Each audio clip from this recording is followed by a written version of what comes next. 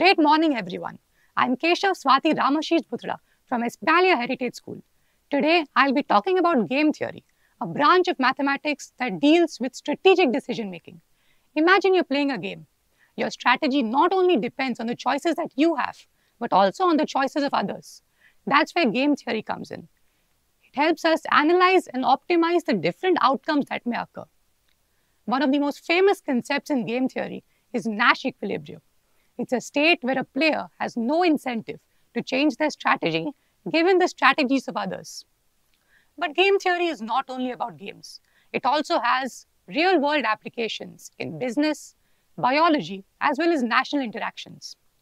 Its applications range from pricing in business to nuclear deterrence between countries. If you know game theory, you can lead a much happier life. Thank you.